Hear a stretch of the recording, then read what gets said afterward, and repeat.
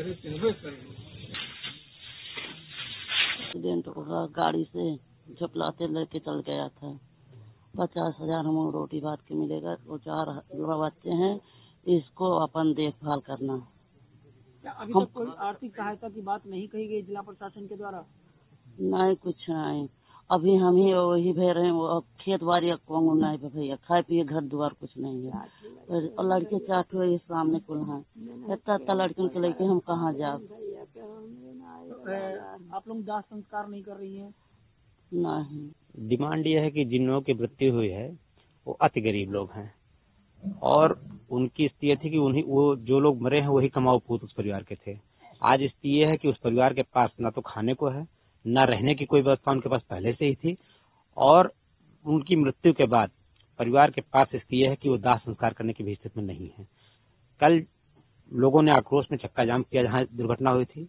CO सदर बस्ती ने इस बात के लिए कहा कि ठीक है, आप लोग चक्का जाम खोल दीजिए, यहाँ से चक्का जाम हटा दीजिए और इन लोगों को निश्चित तौर पर आर्थिक सहायता, तत्कालिक आर्थिक सहायता दी जाएगी और इसके बाद जो है पीएम रात में ही करवाया जाएगा और जो भी सहायता होनी होगी की जाएगी।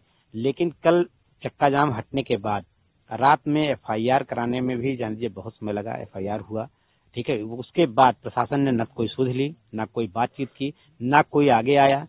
मजबूर होकर के जब कई लोगों से बातचीत हुई, कोई हल नहीं निकला तो ग्रामीणों ने निर्णय लिया, परिवार के लोगों ने निर्णय लिया कि हम अब जब तक हम लोगों को कुछ तत्कालिक आर्थिक सहायता नहीं उपलब्ध आती है, तब तक हम लोग लाश को यहीं रख करके और जो है, हम लोग तब तक अंतिम संस्कार नहीं करेंगे जब तक हम लोग को आर्थिक सहायता नहीं दूसरी मांग है कि वो स्वयं जो है जिन्होंने इतनी लापरवाही के साथ गाड़ी सात मतलब तीन लोग मरे चार पाँच लोग घायल हैं कम से कम दर्जन भर से ऊपर साइकिल और मोटरसाइकिलें टूट चुकी हैं। वो जो अन्य गाड़ियाँ टूटी उन पर लोग बच गए फिर गए इधर उधर। मतलब ये दुर्घटना ना इसको कहा जाए वास्तव में जैसे जान घुस करके कोई कुचलता कुचलते हुए चला जाए निश्चित तौर पर कहीं कहीं मांगे? हमारी वही है कि जो है कम से कम पचास पचास हज़ार रुपया तत्काल लोगों को आर्थिक सहायता उपलब्ध करा दी जाए।